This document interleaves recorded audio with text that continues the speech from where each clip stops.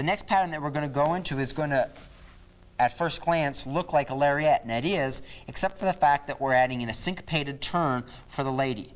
The turn footwork is, for the lady, one and, two and, three, five. So she's doing an extra turn in the same count that she was normally doing just, uh, what, a turn and a half?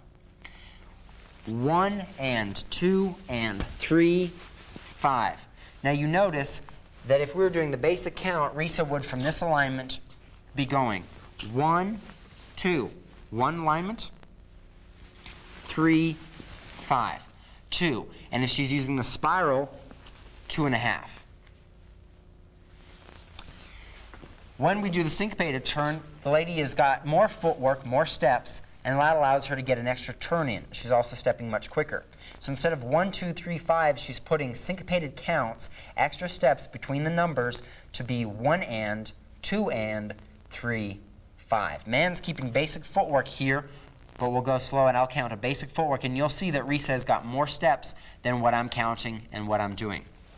One, two, three, five. So for every count that I gave, Resa was doing two steps. Going back the other direction. One, two, three, five, and then the back end, it starts up to be very similar to a normal lariat. Again, I've done the hand change behind the back. I'm facing her. I'm going to go one and two and three, five.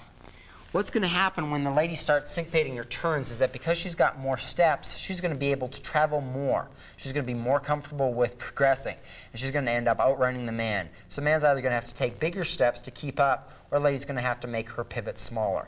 And the man can ask by either pushing, and we've talked about this in earlier tapes, the man can either give an elliptical turn, which is asking the lady to travel more, or can give a little bit smaller circle over the head, which asks the lady to make her steps much smaller and still progressing, of course, because it's a progressive dance. Coming at the camera one more time. One and two and three, five. Now you notice, guys, that even though you're keeping basic footwork, you're having to move your hand much quicker than you ever had before. You're going to hear guys complaining, oh, I have to move my hand so fast, but you're not the one that's doing the work. All you have to do is lead her one and two in. Here's some tips to make that a little bit easier. Once you do the syncopated first bit, one and. Whereas normally we would have gone one, two. You now notice that we've made a full rotation and only said one number. One and. We're not to the two yet. And when we do two and, based on before where we had one count per half rotation, now we have one count per full rotation. About to start.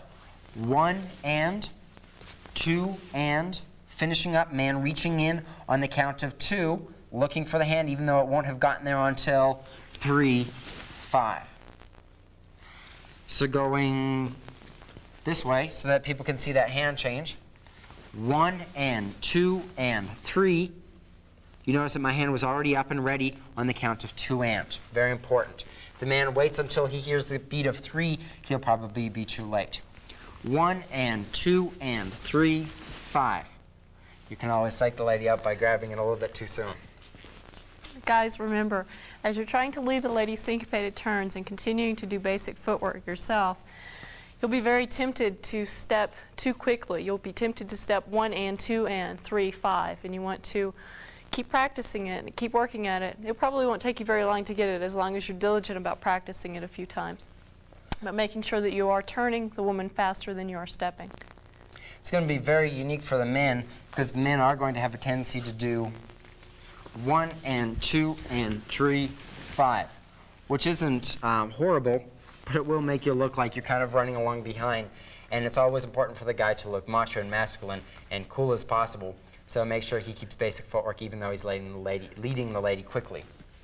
Again, we're talking about the suggestion of remembering that one and, that the numbers will be away and the and counts will be closest to you. Numbers away, two, and counts closest, two and. Because this is a, a more advanced tape, one of the things that we're showing you is a syncopated turn, but we're only showing you in six counts.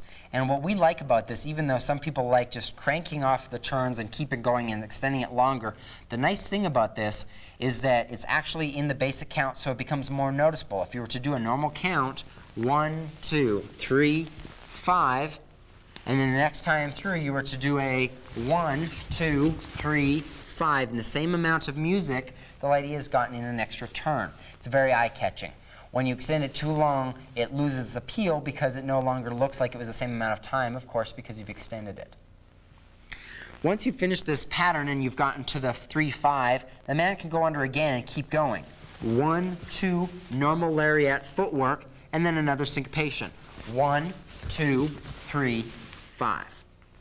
Man can go under again. One, two, three, five, and then a one and two and three, five.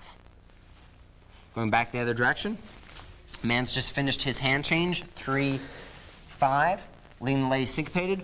One, two, three, passed.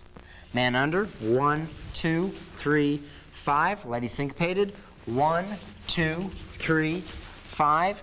I am keeping my basic footwork as the lady does her syncopation. One, two, three, five. One and two and three, five. Now, how many times you ask can you do that? As many times as you can until the lady gets sick and throws up on your boots.